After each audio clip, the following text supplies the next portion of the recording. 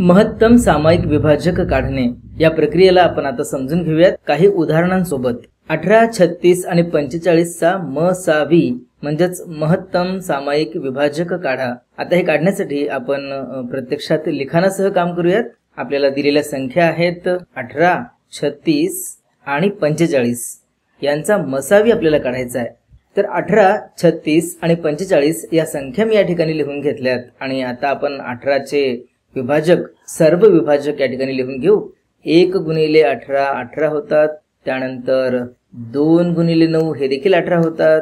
तीन गुणिले सहा हे देखील अठरा होतात. म्हणजे अशा पद्धतीने अठराचे एकूण विभाजक आपल्याला असे मिळालेत की एक दोन तीन सहा नऊ अठरा. ठीक आहे? यानंतर आता आपण छत्तीसचे विभाजक लिहून घेऊयात. ते काय असणार आहेत? तर एक एक छत्तीस छत्तीस होणार आहे. दोन ला आपण अठराने गुणलं तर छत्तीस होतात म्हणजे बे अठरा छत्तीस. तीन ला आपण बाराने गुणलं तर बारा छत्तीस किंवा तीन गुणिले बारा छत्तीस होणार आहेत.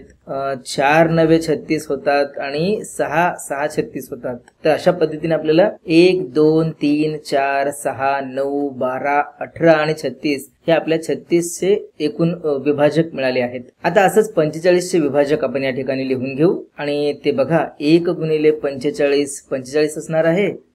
मग तीन भाग जाईल तर तीन पंधरा पंधरा त्रिक पंचेचाळीस असं होईल. त्यानंतर पाच आणि पाच नव्हे पंचेचाळीस होणार आहे. तर अशा पद्धतीने आपल्याला एक तीन पाच नऊ पंधरा पंचेचाळीस हे आपल्या पंचेचाळीसचे सर्व विभाजक या ठिकाणी मिळाले. आता आपण शोधत असतो की या सर्वांमध्ये सामायिक असलेले विभाजक कोण कोण आहेत पिवळसर रंग घेतोय की जेणेकरून आपल्याला हे सामायिक विभाजक सांगता येतील? बघा या सगळ्यांमध्ये एक कॉमन आहे सामायिक आहे. त्यामुळे हा एक त्यांचा सामायिक विभाजक आहे. दोन या ठिकाणी आपण या पंचेचाळीसच्या ठिकाणी नाही. मग तीन बघा. तीन तीन तीन. म्हणजे तीन देखील एक सामायिक विभाजक आहे. सहा सहा पण सहा नाहीये. नऊ नऊ नऊ ठीक आहे. तिघांच्याही ठिकाणी सामायिक विभाजक म्हणून आपल्याला नऊ घेता आला आहे. तोही मी सर्कलमध्ये घेतलाय. अठरा अठरा पण या ठिकाणी नाही छत्तीस ठीक आहे. आता आपल्याला अशा पद्धतीने काय झालं? तर अठरा छत्तीस आणि पंचेचाळीस यांचे सामायिक विभाजक पाहिल्यानंतर एक तीन आणि नऊ हे सामायिक विभाजक मिळाले. आपण यांचा मसावी काढत आहोत. त्यामुळं मला असेल लिहिता येईल या ठिकाणी की मसावी आणि कशाचा? तर अठरा छत्तीस आणि पंचेचाळीस यांचा.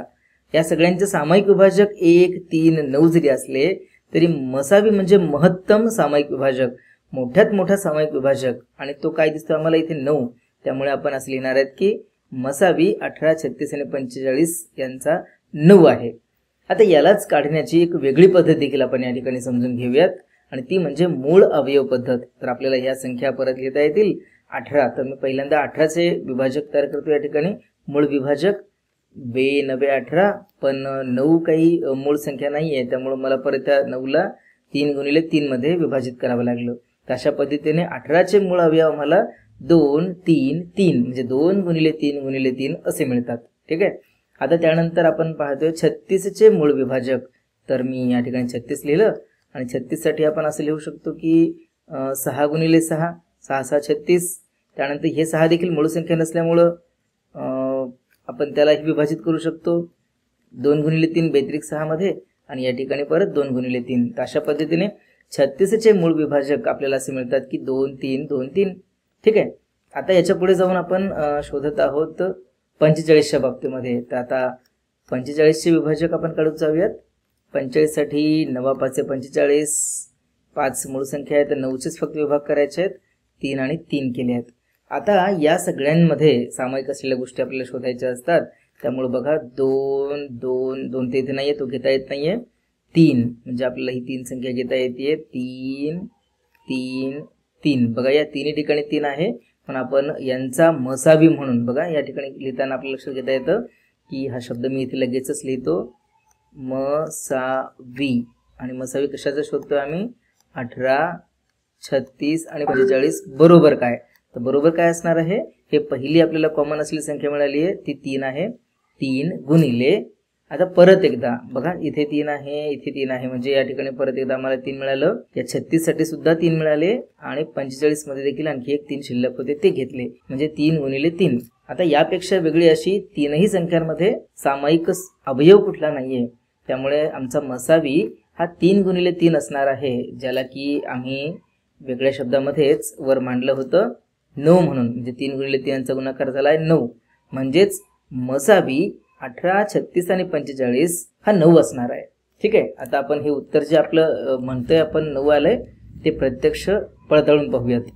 तर हे आपलं उत्तर टाकण्याची जागा या ठिकाणी आहे. इथे मी क्लिक करतोय आणि आपलं उत्तर टाकतोय नऊ.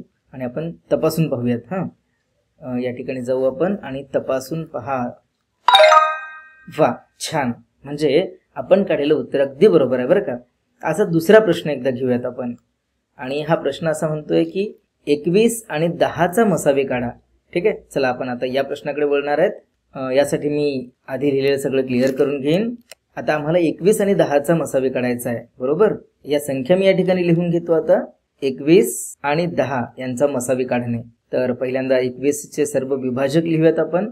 एक एक एकवीस एकवीस होणार आहे. किंबहुना दोन्ही भाग जाणार नाही तर तीन तीन सात एकवीस होणार आहेत. बरोबर? तर एक तीन सात एकवीस.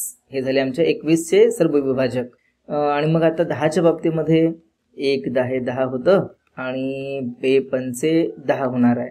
आता यापेक्षा वेगळा याचाही विभाजक आपल्याला नाही भेटत आहे. म्हणजेच एकवीसमध्ये आम्ही एक तीन सात एकवीस असे लिहिले आणि दहाचे सर्व विभाजक एक दोन पाच दहा हे लिहिले. पण आत्ता म्हटल्यासारखं आम्हाला सामायिक विभाजक काढायचा असतो. म्हणजे आम्ही प्रथमत महत्तम सामायिक विभाजक हे जर काढत असू तर आम्हाला पहिले माहिती पाहिजे की याच्यामध्ये सामायिक विभाजक ते कोणते आहेत? पण आपण सामायिक विभाजकांना आधी सर्कल करून घेऊ. बघा या दोघांमध्ये देखील एक हा सामायिक आहे कॉमन आहे. तीन एकवीसमध्ये आहे पण दहा मध्ये नाही आहे सात एकवीसमध्ये आहे दहा मध्ये नाही एकवीस. अरे म्हणजे असं दिसतं आपल्याला की काही संख्या या एकवीसमध्ये आहेत त्या दहामध्ये नाहीत. आणि दहामध्ये आहेत त्या एकवीसमध्ये नाही आहेत त्यामुळे आता असं लक्षात आलं की एकवीस आणि दहा यांचा सामायिक असलेला विभाजक हा एकच आहे. हा म्हणजे दुसरी कुठलीच संख्या त्यांच्यामध्ये सामायिक नाही आहे म्हणजेच एकवीस आणि दहा यांचा मसावी एक आला आहे. ठीक आहे? तर आता वेगळ्या पद्धतीने देखील म्हणजे आपण मूळ अवयव पद्धतीने म्हणायचो ते देखील पाहू शकतो. आणि त्यासाठी देखील आपल्याला असा प्रयत्न करता येईल की या संख्या आपण असं लिहून घेऊयात. पहिल्यांदा एकवीसचे मूळ अवयव करू.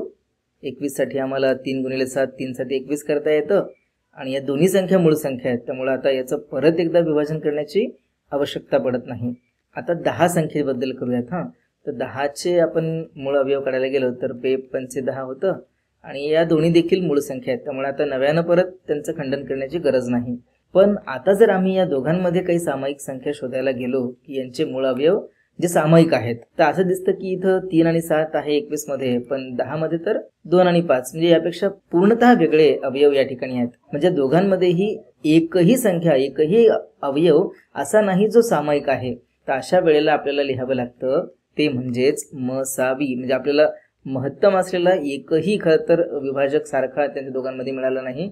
त्यामुळे यांच्यापेक्षा वेगळी संख्या कोण जी पक्की असते ती म्हणजे एक. यांच्या दोघांमध्ये सामायिक असतं तर आपण ती नक्कीच लिहिली असती. दोघांमध्ये एकही सामायिक आलेलं नाहीये. त्यावेळेला पक्क आहे की एक हा प्रत्येक ठिकाणी त्याचा विभाजक असतोच. म्हणजे कुठल्याही संख्येचा एक हा लहानात लहान विभाजक असतोच असतो. आणि त्या संख्येची ही तीच संख्या सर्वात मोठी विभाजक असते हे आपण आधीच पाहिलंय.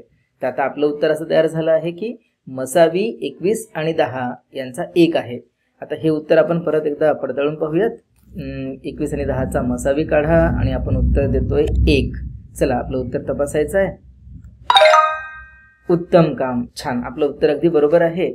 आणि अशा पद्धतीने आपण या ठिकाणी मसावी काढणं म्हणजे महत्तम सामायिक विभाजकाची दोन उदाहरणं करून पाहिली आहेत.